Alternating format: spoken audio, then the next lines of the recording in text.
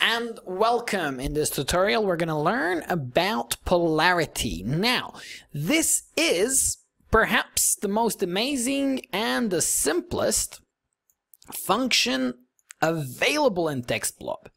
So, blob polarity simply returns a polarity score in the range of negative, and this is, you know, where typing messes up, I may reformat that, negative 1 to 1. Negative 1 is depressing, like everything's going wrong, and 1 is, you know, Pharrell's song, Cause I'm happy, I'm along if you feel. So, where we are is blob.polarity. This is going to tell us on a score from minus one to one how happy or sad this book is. And this is kind of exciting. It's Alexander the Great. And uh, we can have a look at some other books too. But this will be interesting. F5. Oh, we need to print blob.polarity. Print.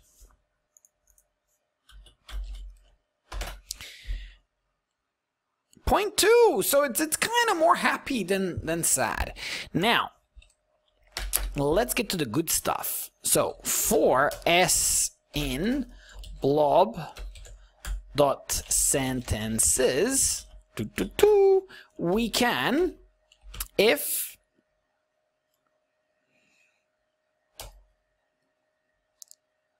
s dot polarity is greater than 0 0.8. Print S.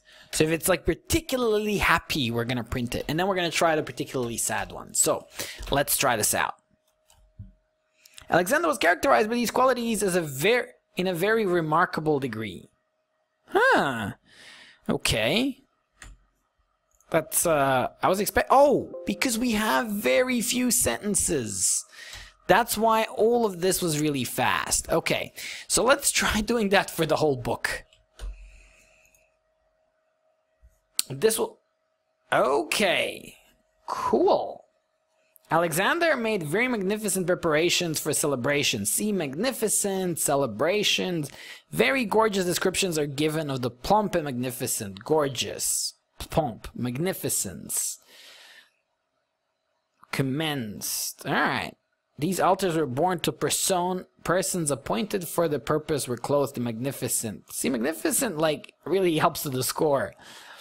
Consternation. I'm not sure. I think consternation isn't that positive. So there you go. These are generally all pretty happy.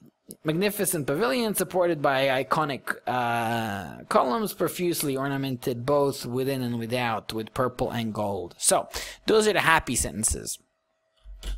Let's try the, you know, shocking ones. F5. Okay. Thus Thebes was made a ruin and a desolation. It remained so a monument of Alexander's terrible energy and decision. For 20 years, a terrible and protracted struggle ensued, but the coolness, courage, and strength of Alexander's army carried the day.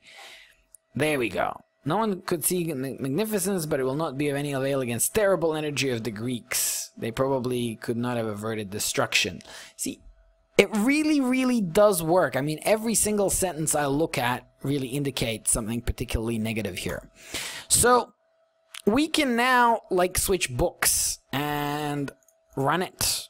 This is like the really bad ones in the book one, whatever book one is. May the devil carry away these idiots. Okay, it hidden doorways to rumbling horrible shoulders against doors, drawing them up. So this particular book right here is, ooh, barely a little bit positive. So, Monsieur Defarge, the hour has come, Saint Antoine, to execute the horrible idea of hoisting men for lamps to show what he could and do. The fingers of the knitting women were vicious with experience that they could tear. Okay, Um, he always remembered with fear and trembling the terrible woman knitted when he talked with her and had looked ominously at him as her fingers moved. There we go. These are kind of, they're all negative. Let, let's see greater than 0.8.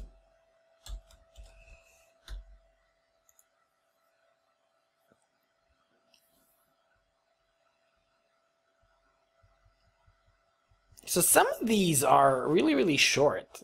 Like that's a wonderful corner for echoes. It has been remarked that the corner where the doctor lived.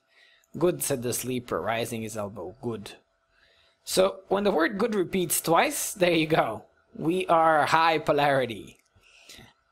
Good, magnificent, extermination. Hmm.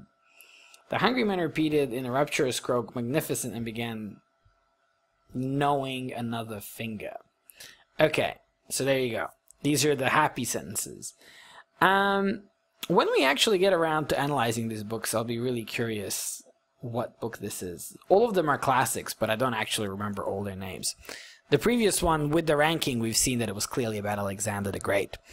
Okay, so there you go. That is polarity. It literally kind of gives you a, a, a single variable idea of the mood of the text. Um, the only thing that I'm curious about, I think it's a double type blob dot polarity. And new type bases dictionary. I'm pretty sure it's a it's either a float or a double.